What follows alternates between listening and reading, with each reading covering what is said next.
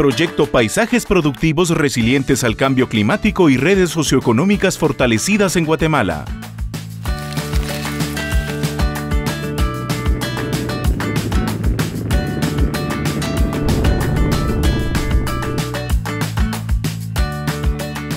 Ubicado en la cuenca del río Nahualate, en los departamentos de Sololá y Suchitepeques, el proyecto nace para reducir la vulnerabilidad a los efectos del cambio climático.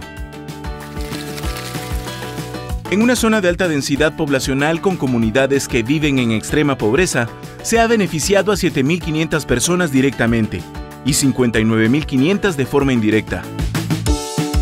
Guatemala ha sufrido muchísimo con el cambio climático.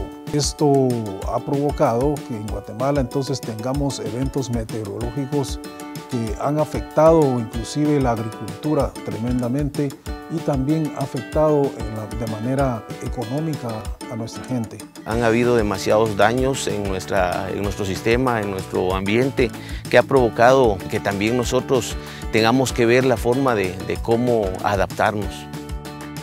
El proyecto Paisajes Productivos Resilientes al Cambio Climático y Redes Socioeconómicas Fortalecidas en Guatemala es una iniciativa que surge gracias al apoyo financiero del Fondo de Adaptación, la cual es ejecutada por el Ministerio de Ambiente y Recursos Naturales MAR con el apoyo del Programa de Naciones Unidas para el Desarrollo PNUD como agencia implementadora. Es un proyecto que nos está eh, apoyando en preparar a la población, no solo en temas de gestionar el riesgo a este flagelo, sino también nos está apoyando para preparar a la gente en términos de mejorar sus capacidades de adaptación, a reducir sus riesgos y especialmente a fortalecer ¿verdad? las redes socioeconómicas del lugar para que la población tenga otras alternativas, digamos, no solo de subsistencia, sino de mejorar sus propias condiciones de vida. El proyecto nace con un enfoque de cuenca, por eso el proyecto se implementa en la cuenca del río Nahualate. Y la idea es trabajar la parte alta directamente con las comunidades, trabajando en el tema productivo, mejorando esas prácticas productivas que las comunidades y las personas tienen, para que los efectos se vayan haciendo menos eh, sensibles en la parte media y baja de la cuenca. Hemos venido trabajando pues, conjuntamente MAGA y Proyecto Paisajes Productivos Resilientes al Cambio Climático con la elaboración de, estructuras de conservación de suelos, ya que eh, esta es una de las eh, actividades principales, ¿verdad? que hay mucha necesidad ¿verdad? Conservar los pocos recursos que tiene el agricultor, así como también las reforestaciones. Se ha hecho bastante reforestación y gracias pues, al apoyo del proyecto Paisajes Productivos, que en realidad pues, ha venido a, apoyar fuertemente las acciones también del Ministerio de Agricultura. Las acciones principales del proyecto están enfocadas en la conservación de suelos, manejo de aguas, bosques, cultivos y viveros, así como en el manejo sostenible de recursos. Los componentes del proyecto son cuatro.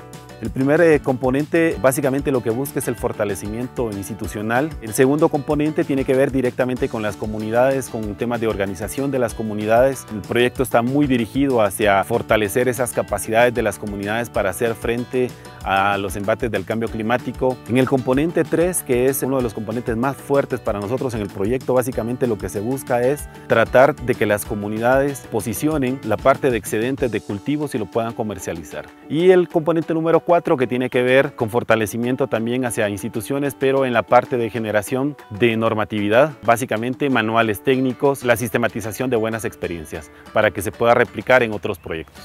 Sí estamos eh, recibiendo el apoyo en cuanto a la concientización a las mujeres, en especial en este caso, y a través del trabajo que estamos realizando, pues se nos, está apoyando igual económicamente y solo así se toma conciencia. Señoras, también nos hemos puesto a trabajar en la construcción de vivero y ahorita tenemos el vivero ahí en la casa, que ya casi vamos a empezar a sembrar arbolitos. También tenemos el proyecto de aljibes. Ya no es necesario escarbar un pozo, no es necesario buscar un nacimiento de agua, sino ahora que estamos en este tiempo, pues se está aprovechando el agua de la lluvia. Las cadenas de valor que estamos impulsando luego de un estudio que se hizo en el área, en la zona de Boca Costa estamos impulsando la cadena de la miel, la cadena del cacao, la cadena de la hoja de machán, Y en la zona de altiplano se está impulsando mucho el tema de la cadena de las hortalizas con un cultivo bandera que es la arveja dulce. En sus primeros meses de ejecución, el proyecto ha dado los primeros pasos firmes para alcanzar sus metas, logrando importantes resultados en sus cuatro componentes. En esta primera etapa en el tema de, de conservación lo hemos, creo yo, alcanzado bastante bien y pendiente el impulsar el tema de cadenas de valor. Ya hay una cultura ya de que los mismos alcaldes, organizaciones locales ya han aceptado pues, hacer reforestaciones. Es importante el que empecemos a trabajar con la gente, con las generaciones actuales y las, las futuras, ¿verdad? De tal forma que esto de la protección del medio ambiente sea un compromiso de todos. Ya la municipalidad ya cuenta con un vivero forestal eh, sabemos de que ese es el camino que vamos, queremos reforestar. En cuanto a los apiarios, nosotros miramos como un desarrollo de vida, que el proyecto nos ha dado una semilla. Y esa semilla, el cual pues hoy se ha sembrado y un futuro tiempo que sea sostenible. Como el proyecto nos da seguimiento, pues nosotros también ponemos el empeño para poder producirlo porque ya la semilla ya nos dieron. Entonces eso nos viene a motivar y a desarrollar a las, a las familias. No habíamos tenido un apoyo tan grande como la que estamos recibiendo hasta ahora.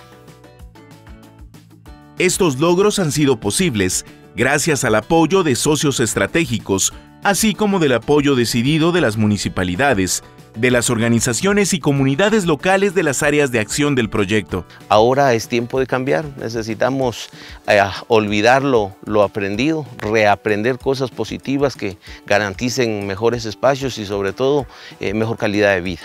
Las familias lo necesitan, necesitan educación y es por eso que creo que es muy importante el apoyo a las familias. Nosotros que vivimos del campo, pues este, nosotros sabemos quizás cómo sembrar un árbol, pero no tenemos el conocimiento como para conservar los suelos, como para proteger un bosque. Entonces eso, eso lo miramos nosotros bastante importante de lo que hoy hemos recibido.